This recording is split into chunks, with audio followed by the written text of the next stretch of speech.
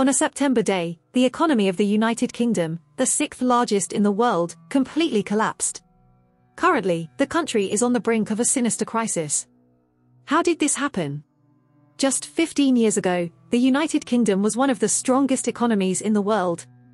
However, now the country is facing a severe economic crisis, with doubled debts, imminent blackouts, currency depreciation, and the possibility of permanent closure of three quarters of British pubs. Faced with this scenario, the government is preparing for possible public unrest caused by this economic crisis. The catalyst for all of this was the announcement by the new government of the United Kingdom that it would borrow even more, which led the market into uncontrolled chaos. This happened amidst speculations that the global economy was entering a historic recession, with major banks like Deutsche Bank and Morgan Stanley also rumored to be on the verge of collapse. The United Kingdom is certainly feeling the consequences of this recession, with inflation rates above 10% this year, the highest in over 40 years. Furthermore, the United Kingdom is the only G7 country that has not yet economically recovered from the pandemic. With the government accumulating more and more debt, people have finally lost all confidence that the United Kingdom would be able to repay its debts, which led the pound sterling to reach its lowest value against the dollar. This drastic drop resulted in a 5% loss of the total savings of British citizens in a single day. Additionally, the cost of living has increased, along with the energy crisis and the war with Russia. Brexit, constant leadership changes, rising crime rates, exorbitant property prices, and massive debts resulting from the virus have made the situation even worse. So how could this catastrophe happen? To understand what lies ahead for the United Kingdom, we need to analyze what has been happening in the country over the past decade. In 2007, everything seemed perfect for the future of the United Kingdom, with predictions of stable GDP growth around 3% per year and a pound worth $2. However, the financial crisis of 2008 changed everything, and the economy of the United Kingdom went into decline. It took five years for the country to recover, and during that period, public debt more than doubled, austerity measures were implemented, with significant cuts in public services and tax increases. Although these measures seemed to improve the economy, debt levels were still out of control, and inflation began to rise, increasing the cost of living. Additionally, property ownership became increasingly unaffordable for the middle class due to the influx of migrants and oligarchs buying high-end residences. All of this led to general dissatisfaction among the British people, who lost confidence in the government. Over time, this dissatisfaction led to Brexit and major political changes in the country. However, the consequences of Brexit and the economic measures taken after leaving the European Union have generated volatility and uncertainty for the United Kingdom's economy. The pandemic further exacerbated the country's economic problems, leading to an unprecedented drop in GDP. The restrictions implemented to contain the spread of the virus resulted in business closures and a massive government bailout to sustain the economy. However, the government's increasing spending and lack of investor confidence put the country in a precarious situation.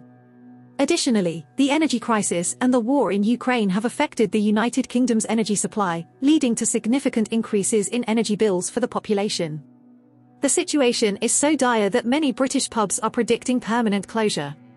The government has tried to implement measures to reverse the situation, such as tax cuts, but these measures have not been well received by the public.